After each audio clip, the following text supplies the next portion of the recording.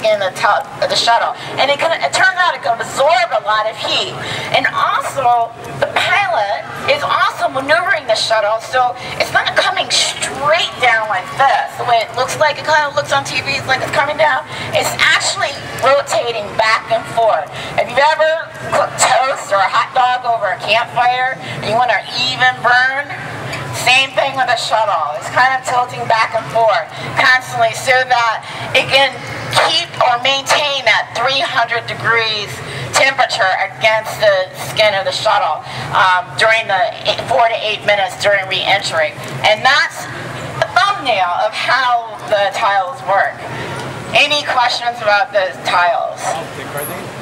Sorry? How thick are they? Question is how thick are they? They, they vary in thickness from anywhere from about an inch to about two, three inches. And they weigh probably no more than two pounds. What puts the tiles on the shuttle? What? I'm sorry? What puts the tiles on the shuttle? RTV? Well, that, you know, that's an interesting question. Um, it, it could be me just standing on a cherry picker and sticking it on there. Um, or they have machines that can put the shuttle on. What materials make it stick? Well, it is a, a, special epoxy. I cannot give you the chemical name of it right now, but it's about a 15 letter word chemical name that I can't think of it right now. So, any other question? Super glue. Oh, I like that. Super glue is a great way to think about it. It's close to that. yes. How tall is this thing from?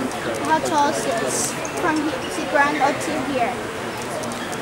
Um, that I couldn't tell you. I can tell you the length.